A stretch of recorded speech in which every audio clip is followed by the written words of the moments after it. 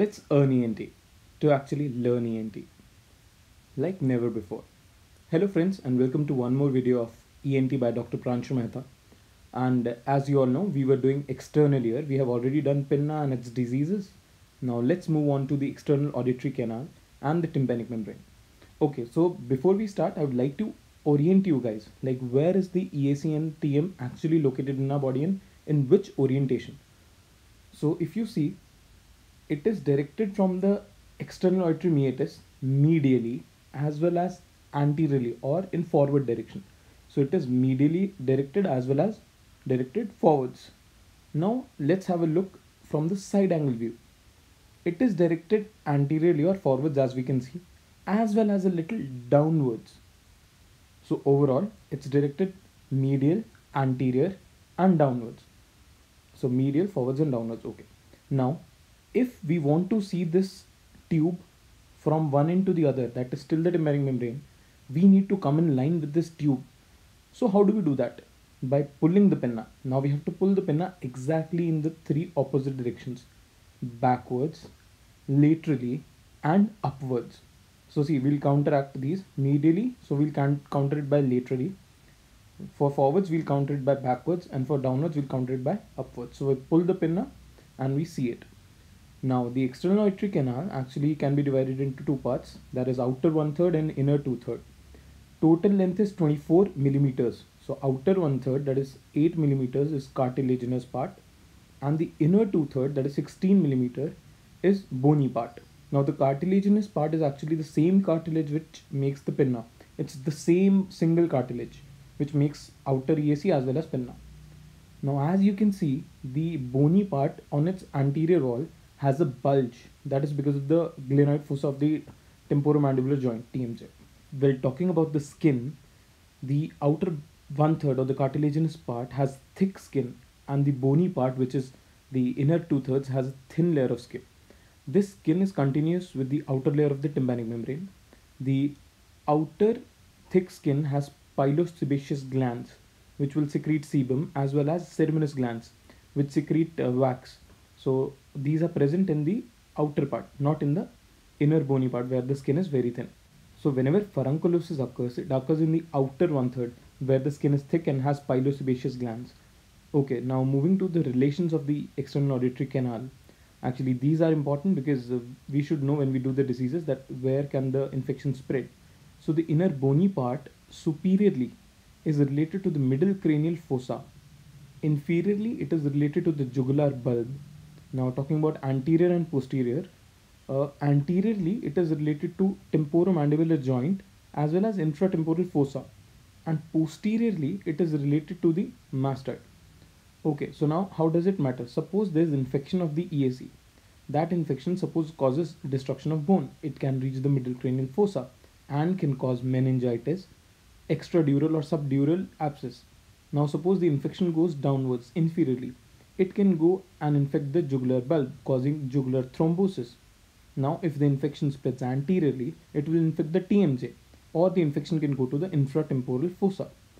While posteriorly, it will go and affect the mastoid, leading to mastoiditis. Now, imagine if the uh, infection is so severe that in, it involves the superior, inferior, uh, as well as medial and lateral uh, bony walls, causing infection in the full skull base. We call it as skull base osteomyelitis.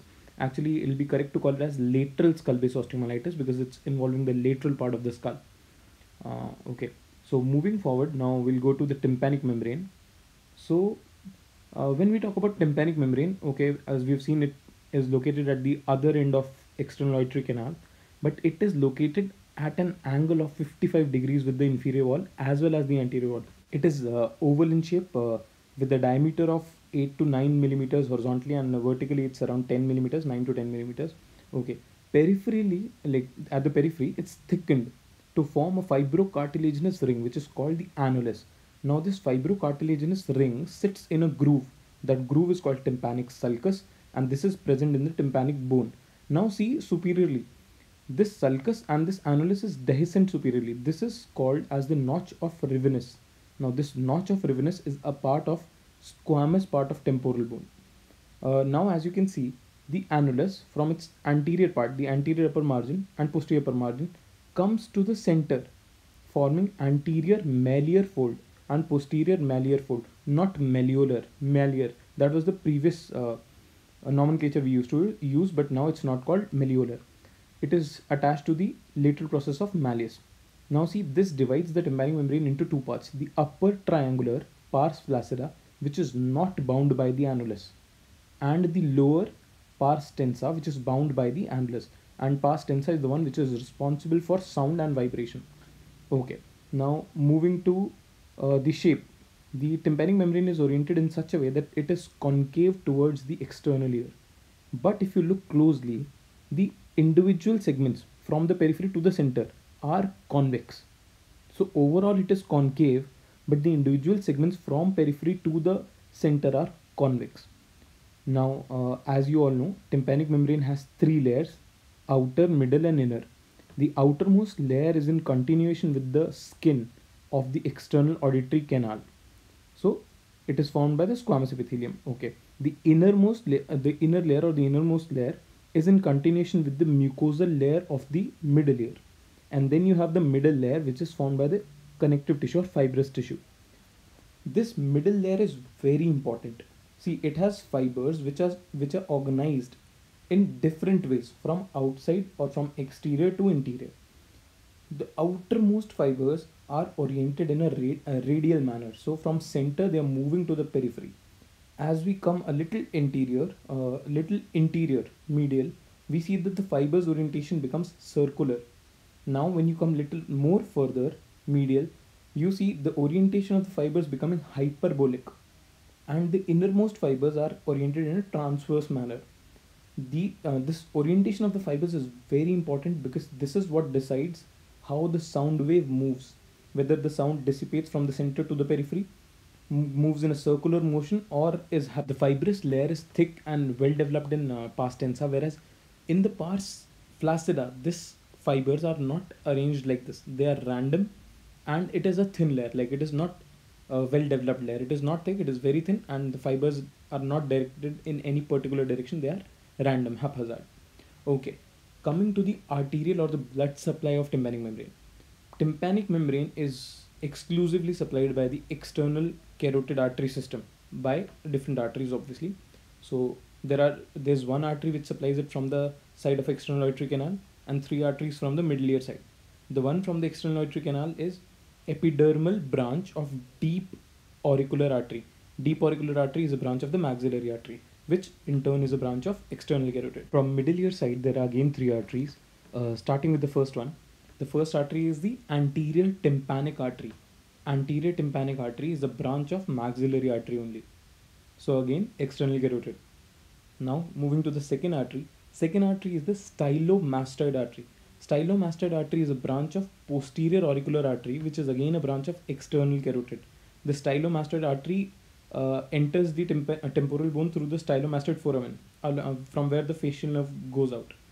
Okay, so it gives a branch which is actually posterior tympanic, which supplies this tympanic membrane. The third artery is middle meningeal artery. The middle meningeal artery again is a branch of maxillary artery, which again is a branch of external carotid. So overall, the blood supply of the tympanic membrane is exclusively by the external carotid system, not the internal carotid. So talking about the nerve supply, the nerve supply I've already taught you about this concept in the pinna. See the anterior inferior part or the anterior inferior surface of tympanic membrane along with the anterior inferior surface of the full EAC till the pinna that is involving the tragus area is supplied by auriculotemporal nerve. Which nerve? Auriculotemporal. Auriculotemporal nerve is a branch of the posterior division of mandibular nerve. Mandibular nerve is a branch of cranial nerve number 5 that is trigeminal nerve. Okay, the posterior superior part or posterior superior surface of the tympanic membrane along with the full posterior superior wall of the EAC external auditory canal till the concha is supplied by vagus that is cranial nerve number 10 and which branch Arnold's nerve. This is the reason when you poke a earbud or anything inside your ear canal you cough. Uh, there are some fibers of the facial nerve as well sensory nerve uh, fibers which supply the same wall. Now talking about the medial side, the surface which is facing the middle ear, there it is supplied by the tympanic plexus. Now tympanic plexus is formed by cranial nerve number 9 glossopharyngeal actually it's a tympanic branch which is called jacobson's nerve as well as sympathetic supply which is around the internal carotid artery about this we will read when we do the next video that is the anatomy of the middle ear. So for today we are done and uh, today we read about the anatomy of EAC and the tympanic membrane. Hope you liked the video and learned something. So if you learned something do like and share the video with your friends and don't forget to subscribe to our channel the ENT surgeons. Before closing the doors of your brain